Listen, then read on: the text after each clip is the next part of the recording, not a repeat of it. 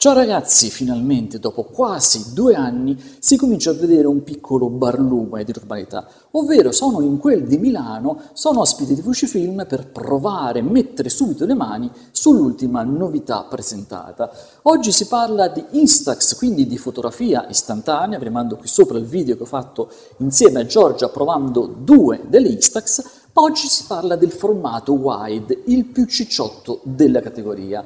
E oggi sì ero venuto su speranzoso perché speravo che fosse un nuovo modello di fotocamera. Infatti ad oggi per il formato wide c'è solo lei, la Wide 300, che sì funziona benissimo ma sembra uscito da una puntata di Stranger Things. Invece oggi purtroppo no, non si tratta di una fotocamera ma di una stampante, si chiama Link Wide, in cui Link non c'entra niente Zelda e la Nintendo, ma il collegamento. Lei si collega sia ai nostri smartphone sia a quelle che sono delle fotocamere, le fotocamere Fujifilm con un nuovo firmware, per andare a stampare e stampare per l'appunto in formato wide, ma subito dopo la sigla ve ne parlo in dettaglio.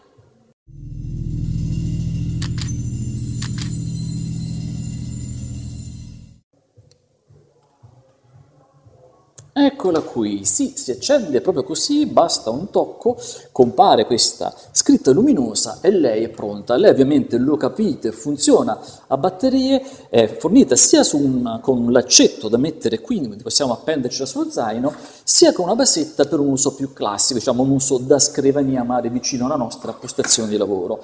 Tutto il resto si fa tramite la sua app dedicata che permette tramite Bluetooth di fare di tutto di più. Ovviamente possiamo prendere una qualsiasi foto che abbiamo fatto con il nostro smartphone ed eccola qui andarla a stampare. Bella, semplice, subito visibile con la solita magia che vediamo nella fotografia istantanea, che esce fuori una stampa bianca, ma dopo circa 4 minuti l'immagine si forma perfettamente. Si è mostrato la foto, quella mia al museo di Kate Herring, lasciate perdere la mia pronuncia. Ma ovviamente si possono fare tante cose, sì, ovviamente la cosa più bella è quella, avere tante stampe, le stampe dei nostri ricordi, perché il bello di avere una foto del genere, che possiamo appenderla, quindi creare in salotto una serie di immagini dei nostri ricordi più belli, della nostra moto, delle nostre vacanze, oppure creare cose molto particolari. Esempio, possiamo andare a scansionare una scritta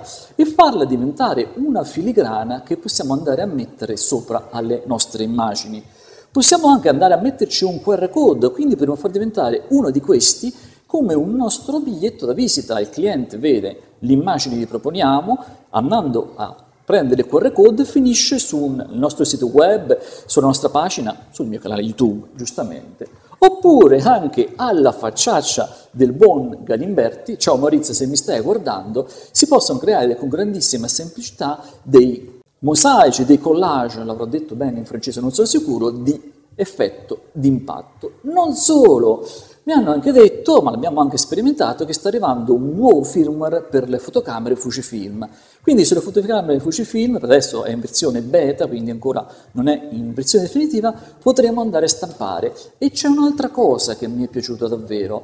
Abbiamo visto che se tu gli mandi una foto in Full HD, quindi 1080 il lato lungo, la qualità è un po' così così. Se gli mandi invece una foto da 5000 pixel lato lungo, la differenza tra le due caspita se si vede. Quindi sono effettivamente pellicole di qualità, come Fujifilm ce ne ha imparato nel corso degli anni, e l'app non la va a spappolare, a distruggere, prende e permette di portare fuori il dettaglio se questo effettivamente è presente.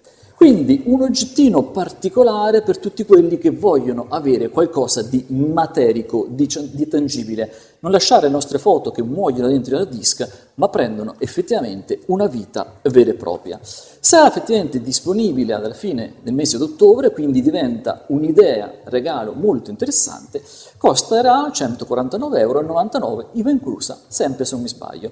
Ovviamente una rapidissima impressione, Positiva, anche se lo ripeto ancora una volta, Fujifilm, se mi ascolti, prendi questo corpo macchina e portalo nel 2021. Ci vuole, ci serve e ci piacerebbe tanto tanto a tutti quelli che sono, come me, innamorati di fotografia e innamorati anche di fotografia istantanea. Ciao ragazzi e al prossimo video.